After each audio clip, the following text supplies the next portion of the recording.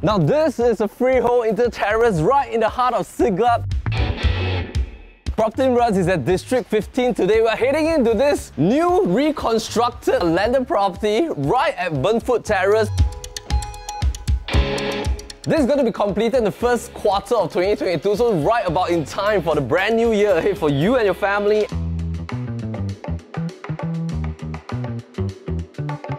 For Property Brothers on our landed home tour, let's go.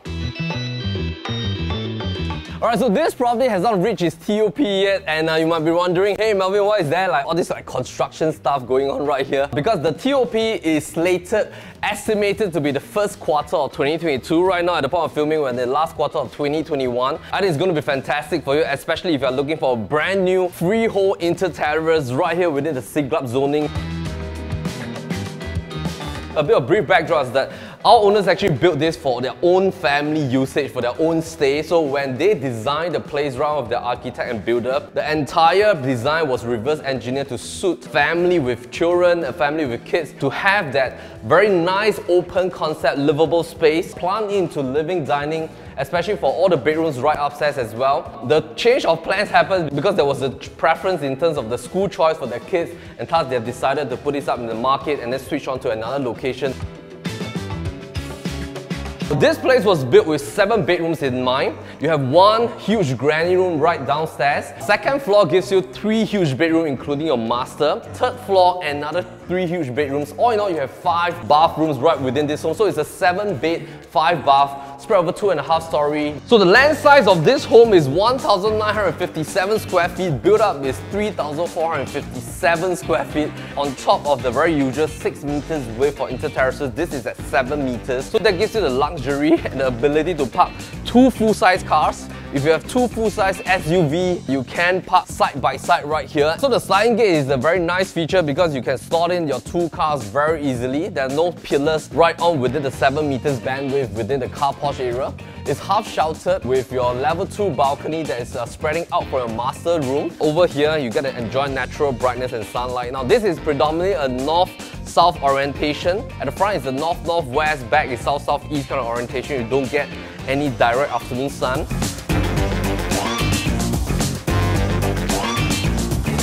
So what you're going to get is that you're going to get a huge living area here. In order to help you to visualize, we have thrown in all the renderings that we generate for you. Notice that there's also no pillars in between the entire living zone. So you can put in and throw in a huge L-shaped corner couch and have your TV console right on this direction. So you also have a four panel sliding glass door that brings in brightness into your entire living dining space as well as a side entrance main door. As you walk towards this area, this is the stairway zone. Now this is done very nicely in the sense that it's combining the entire kitchen together that's tucked along towards this direction, fronting towards your 8 or 10 seater dining space. And most importantly, when you're cooking right here, this is where the skylight natural brightness comes in and you can look upwards. That goes up towards level 2 and attic level.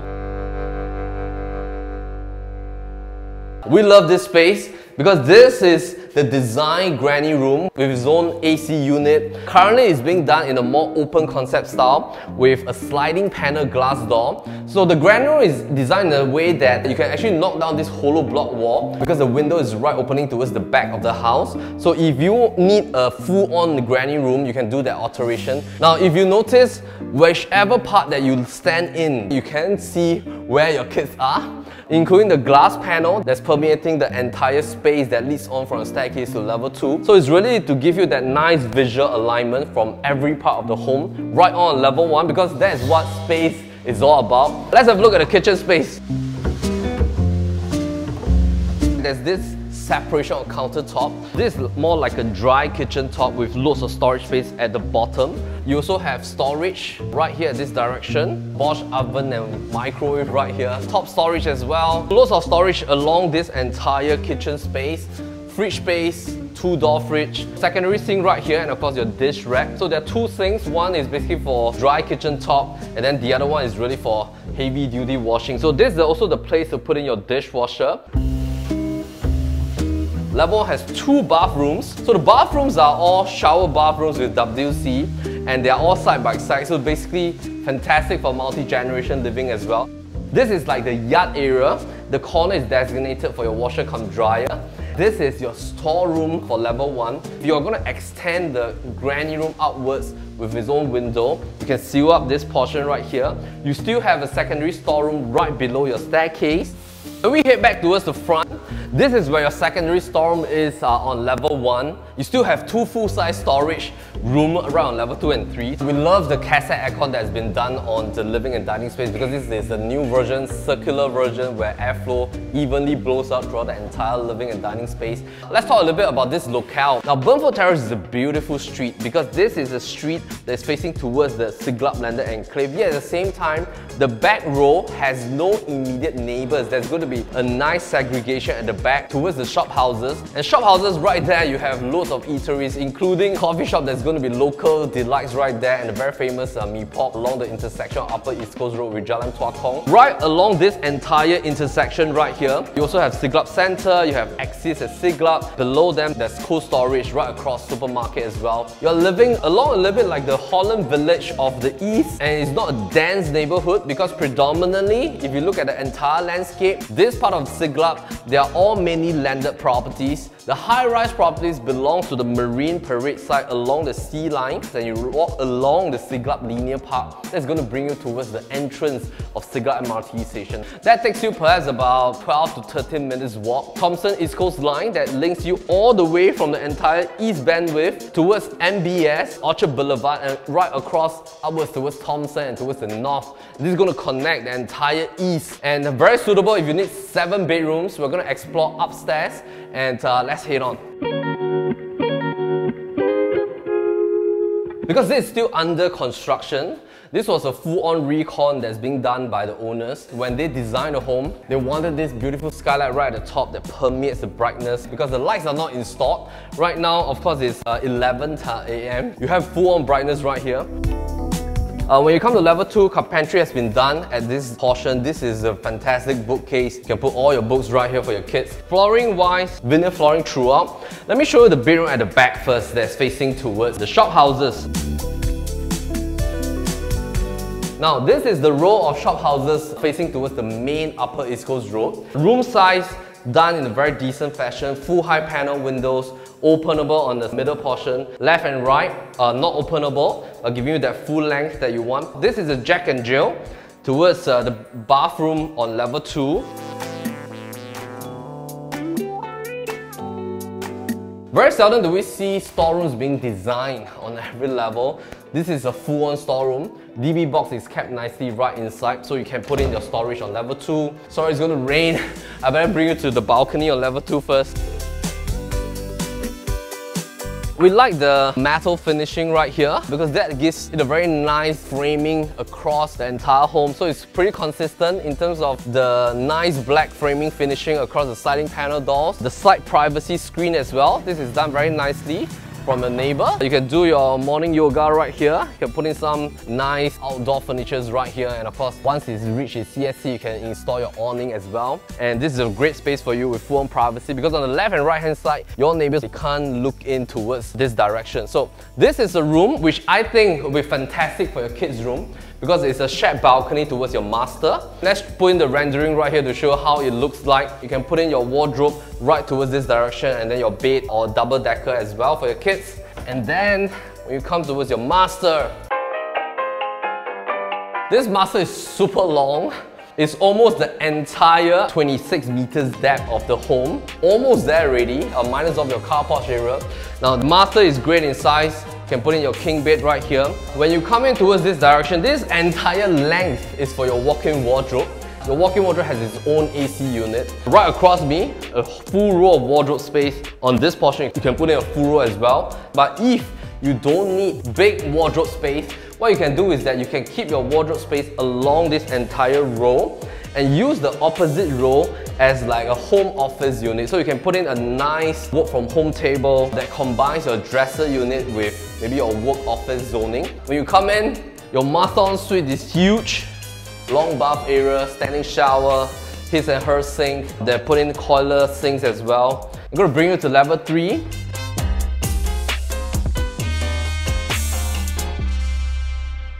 When you come up to level 3, this level is designed with three huge bedrooms, one bathroom that is commonly shared, so this is the huge common bathroom right towards the back at the corner. This is the area where all the aircon compressors are being stored nicely towards this level. And you have also this storeroom here on level 3 with a ventilation window as well.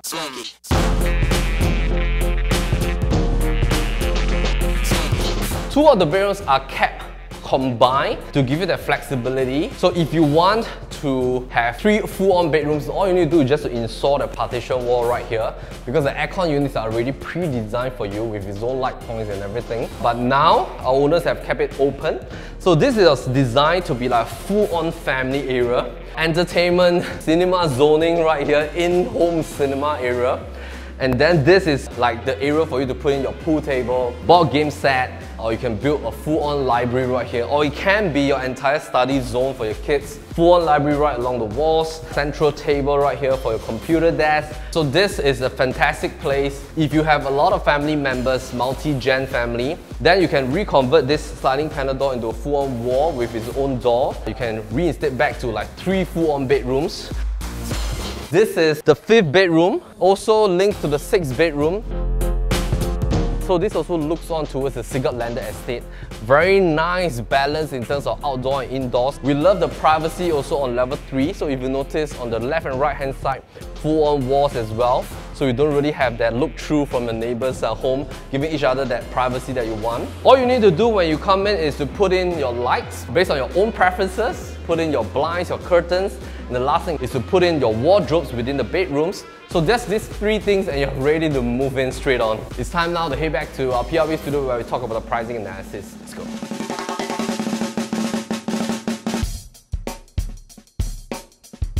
So welcome back to our PLB studio. Hope you enjoyed the tour so far at Burnfoot Terrace. Let's talk about the schools within a kilometer. So for primary schools within one kilometer's radius, we have Ann Primary, Opera Estate Primary, St. Stephen's School. As we extend towards the 2 kilometers range, that'll be Tao Nan as well as CHIJ Katong. If we talk about secondary school in close proximity, that'll be Victoria, St. Patrick's as well as CHIJ Katong. So it's also very easy for your kids to come back. Uh, they can just take straight bus back towards the main Upper East Coast Road. Something is also very interesting within the entire master plan of the D15 enclave. If we just move down one station along the future Thomson East Coast line, the entire Bayshore precinct is undergoing major major transformation because not only does the Bayshore MRT going to be the main pivot for that particular zoning, if we look at the amount of housing being planned right there along the entire Bayshore belt, there's going to be future housing and future demand because there's going to be a mixture of public housing apartments, condominiums, and in future, if any of the families would like to upgrade from maybe the HDB apartments or maybe the private condominiums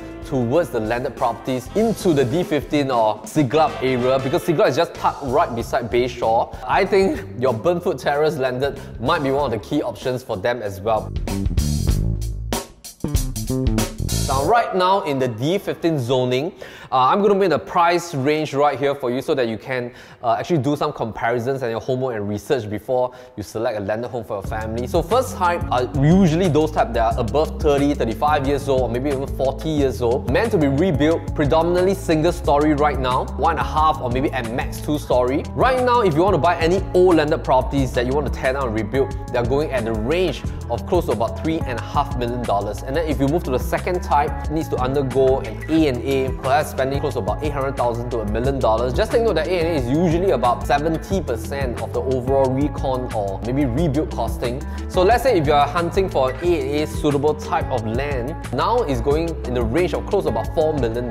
So if you add back the A&A costing, it will inch you upwards towards the close range of about $5 million. Just take note that when you do an A&A, there's a minimum amount that you need to retain. So there's only a certain percentage that you can do in terms of addition alteration. So the overall structure will still be about the same. It just it has underwent an addition of space in terms of building area as well as alterations in terms of maybe some of the pillars and things like that. When you look at the third type, which are usually the type of landed homes that are less than 15 years old, these are the newer versions that you can perhaps pump in about 300 to 500,000 dollars to do a full-on renovation. Right now, this type are undergoing at about four and a half million dollars range around the Siglap enclave. And thus, if you're pumping three to 500, that'll bring you close to about five million dollars. And then the fourth type would be the brand new, brand new type that developers are looking at. They're all inching in the range of about five to five and a half million dollars, depending on the land size. So this particular landed has just underwent a full-on reconstruction, which is going to TOP in the first quarter of 2022. You're gonna get a brand new home with full-on seven bedrooms, and this is very suitable because it falls into the fourth category that has just underwent a rebuild or reconstruction, and the land is not the typical range that we're looking at. is close to 2,000 square feet. Asking price $5.8 million negotiable. And we think that in terms of its locale, the land size and the ability to have seven bedrooms with two parking, this is very suitable for multi-gen living. So if you're looking for something that you don't want to spend time to rebuild, this is going to be something that will be very suitable for your family. Now let's head back to the home.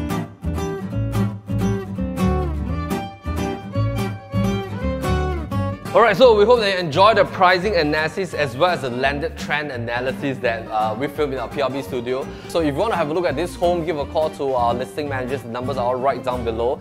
This one is perfect if you're hunting for that D15 address freehold status. My name is Melvin Lim. Thanks for staying with us throughout the entire landed home tour. If you want to have a look at this place, give a call to us and we're very happy to show the place. Meantime, take care.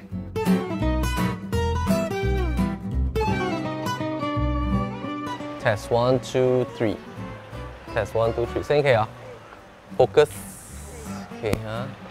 OK，来，我们，你准备。OK，走。Now this is a. OK，sorry，、okay, 多一次。啊，sorry，你在这边。OK，好，ready，go。Alright, so this property has not reached its. Sorry, sorry, sorry, ready.